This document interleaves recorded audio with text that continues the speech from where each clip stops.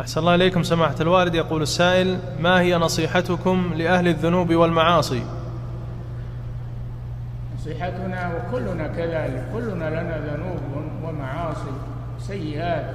نستغفر الله ونتوب إليه. الله جل وعلا أمرنا بالتوبة.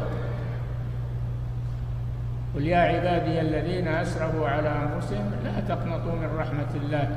إن الله يغفر الذنوب جميعا. إنه هو الغفور الرحيم. وأنيبوا إلى ربكم. يعني ارجعوا إلى الله. أنيبوا إلى ربكم. الرجوع إلى الله عز وجل. ولا ييأس الإنسان.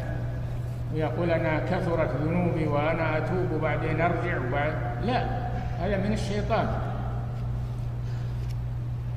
بل يتوب إلى الله عز وجل. قال جل وعلا قل يا عبادي الذين أسرفوا على أنفسهم لا تقنطوا من رحمة الله. إن الله يغفر الذنوب جميعا إنه هو الغفور الرحيم. وأنيبوا يعني ارجعوا إلى ربكم وأنيبوا إلى ربكم وأسلموا له. نعم.